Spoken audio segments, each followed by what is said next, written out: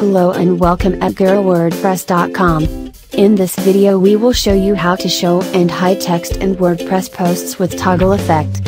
At first, At first, install plugin WP Show Hide.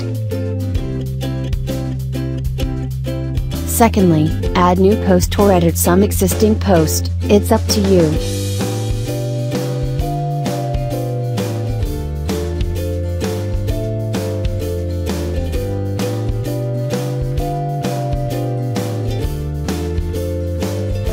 Before the text that you want to show write this code.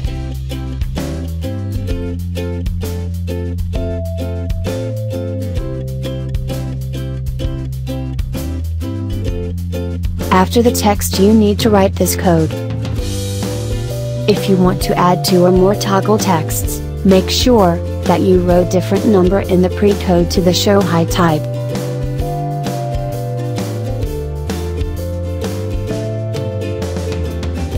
That is all you need to know if you want to use WordPress Show Hide plugin.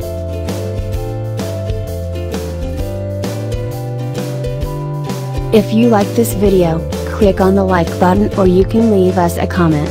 If you want to receive more helpful videos, don't forget to subscribe to our channel.